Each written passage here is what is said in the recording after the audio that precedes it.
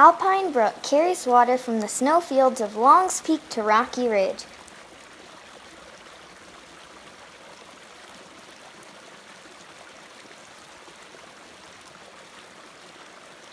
Its sound is the backdrop for our summer music making.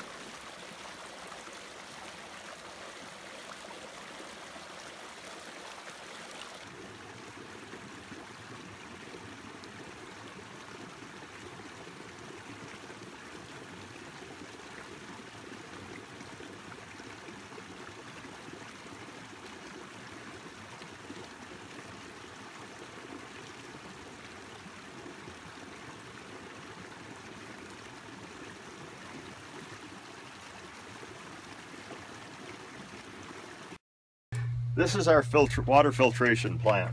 It's very small, very compact, and very efficient.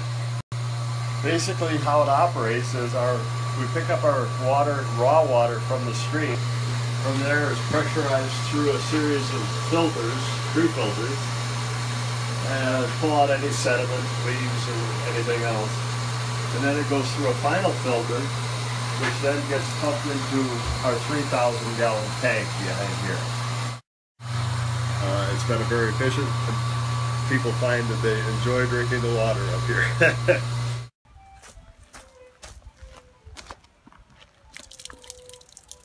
How's it taste, Nikki? Amazing.